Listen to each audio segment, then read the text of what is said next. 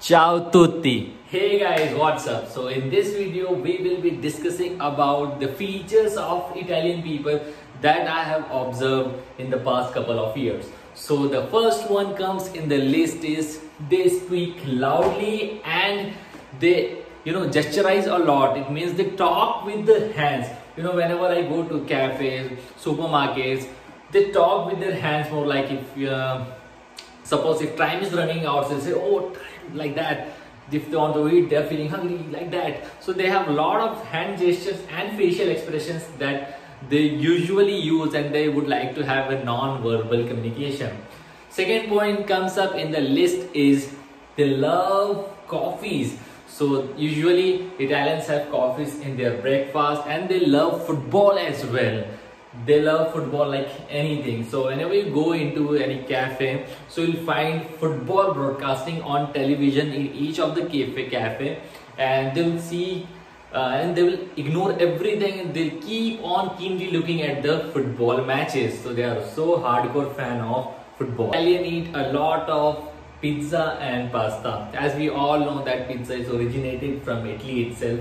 And as we eat uh, vegetable curry chapati, rice and dal in our daily routines. So likewise, Italians eat pizza, pasta, salad, spaghetti in their daily routine.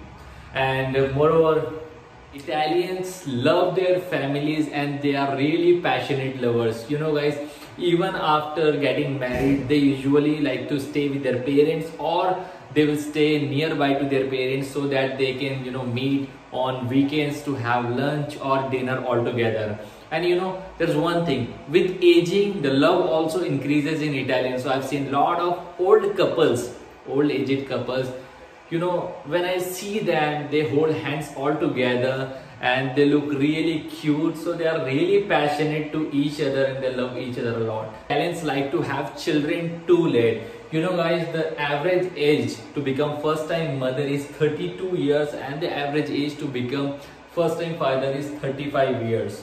And moreover they also marry late and before marrying only they they usually have two children three children. And after that they get married. And that is because of the divorce laws here. Here getting a divorce is quite tough and it takes a lot of time. So that's why they usually get married too late after everything is confirmed they trust and everything else italians are really obsessed with fashion. They like to wear branded clothes. And as we all know milan is the fashion capital of italy.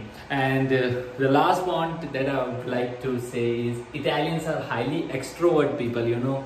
If you are a kind of shy person who hesitate to initiate the conversation then they will start the conversation with you. So they are really friendly people and they always keep on laughing and enjoying and smiling and they go to different different places on weekends. They like to have you know dinner with their families on every weekend. They go on outing and sort of things. So it's lovely to be here in italy and i'm enjoying myself over here.